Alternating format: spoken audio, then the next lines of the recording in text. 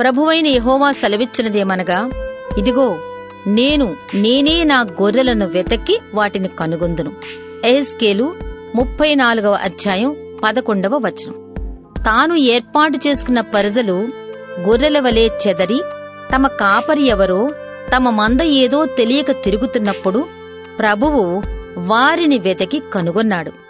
ప్రభువు ఎంత అద్భుతంగా తాను ఏర్పాటు చేసుకున్న వారిని కనుగొన్నాడో కదా!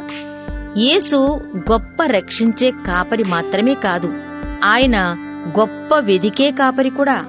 తండ్రి చేత తనకు అనుగ్రహించబడిన వాటిలో చాలా గొర్రెలు తప్పిపోయి నరకపు అంచుల వరకు వెళ్ళిపోయినప్పటికీ ప్రభు ఎంతో కృపతో వాటిని వెతికి కనుగొని తన దగ్గరకు తీసుకుంటున్నాడు. ఆయన మనలను వెతికి కనుగొని తన దగ్గరకు చేర్చుకున్నాడు కదా? అలాగే మన హృదయాల్లో ఎవరి కోసం ప్రార్థన చేస్తున్నామో వారిని కూడా ఆయన వెతికి కనుగొని తన దగ్గరకు తీసుకుంటాడని మంచి నిరీక్షణ కలిగి ఉందాం. సత్యము పరిశుద్ధత అనే పచ్చిక గల చోట్లు విడిచి తన మందలో నుండి ఎవరైనా తప్పిపోయినప్పుడు ప్రభువు మళ్ళీ ఈ వెతికే కార్యక్రమాన్ని మొదలు పెడతాడు.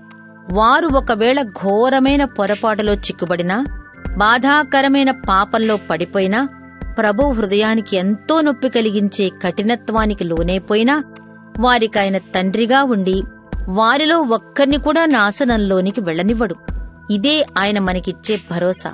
తన మందలోని వారెవరైనా అన్య ప్రాంతాల్లోకి చెదిరి ఉంటే పేదరికంలో చిక్కుబడితే దిక్కులేని పరిస్థితిలో వారు కూరుకుపోతే నిరాశ ఊబిలో మునిగిపోతే అలాంటి వారినందరినీ తన అనుగ్రహంతో మహాకృపతో వెదకి కనుగొంటాడు.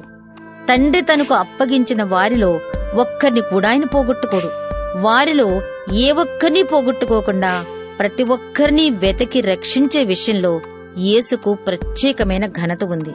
నేను గొర్రెవలే తప్పిపోయాను నన్ను వెతికి పట్టుకో అని మొర్రపెట్టేందుకు ఇది ఎంత అద్భుతమైన వాగ్దానం?